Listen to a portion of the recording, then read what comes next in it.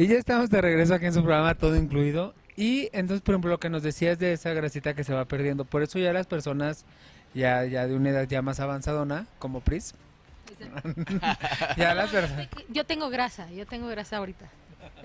Ahorita. ahorita Yo estoy solamente. joven. Solo por ese momento tengo grasita y estoy joven.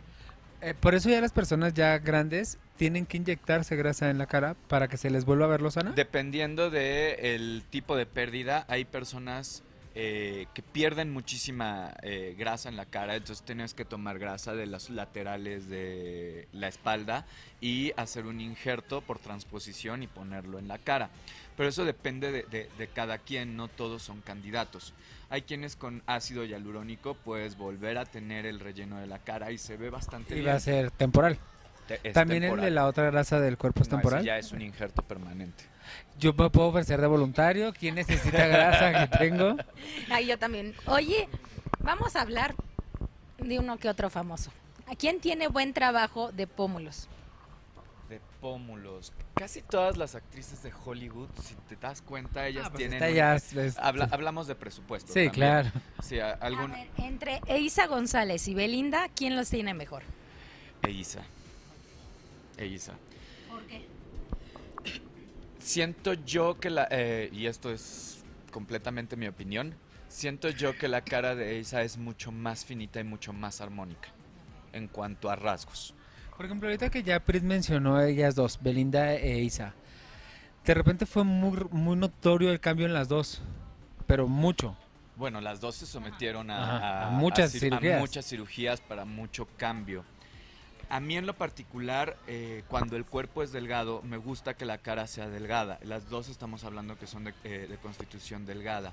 Pero por ejemplo, el agregar un mentón con un pómulo te da una apariencia de vejez. Si te, si te, y, si, y no critico al cirujano, sino eh, porque esto, como les dije, depende mucho de qué es lo que, que yo tú quiero. quieres y qué es lo que platicas, porque a final de cuentas el cliente es el que manda.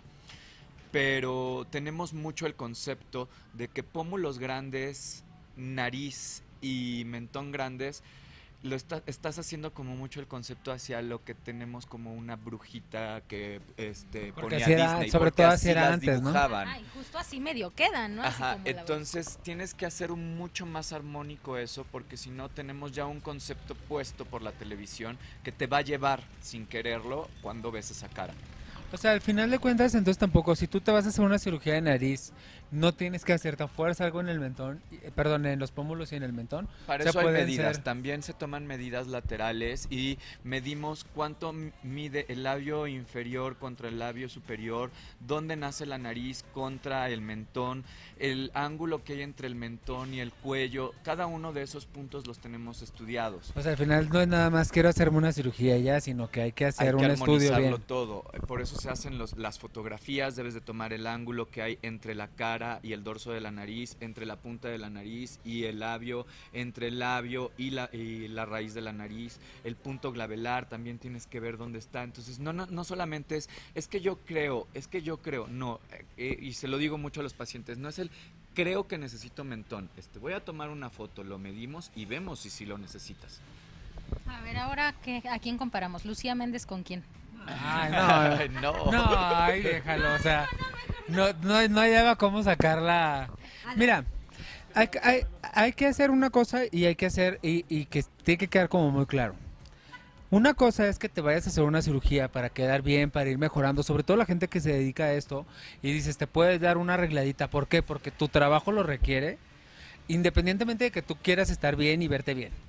Y otra cosa es que te obsesiones con las cirugías, que también en el caso de, por Tienes ejemplo, que parar a un es- paciente. Y el- lo malo, y esto lo he vivido con amigos, lo malo de pronto es que siempre en medicina está el marchante.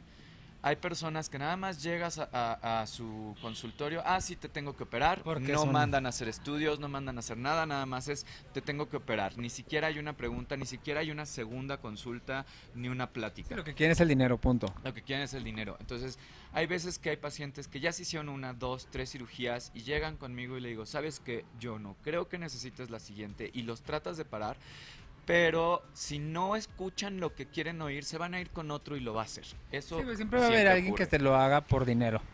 al Siempre. final de cuentas. Y hay muchos, y lamento decirlo, hay muchos doctores en mi ámbito, que es el ámbito estético, que lo hacen así. Oye, pues el tiempo se nos terminó. Tienes que regresar, no, no tardar tanto tiempo en, vol- en- en volver. No, cuando me digan, abandonas, oye, ¿qué cuando me digan yo vengo. Muchísimas gracias. Tus redes sociales para que la gente que nos esté viendo te siga y estén ahí al pendiente también. Eh, en el Facebook me pueden buscar eh, en el cuadro de búsqueda como Najib Randy MD. Ahí tengo mi página y trato de subir un video cada semana ah, hablando de temas médicos. Hablo bastante de estético. Y en mi Twitter, arroba otorrinorandy.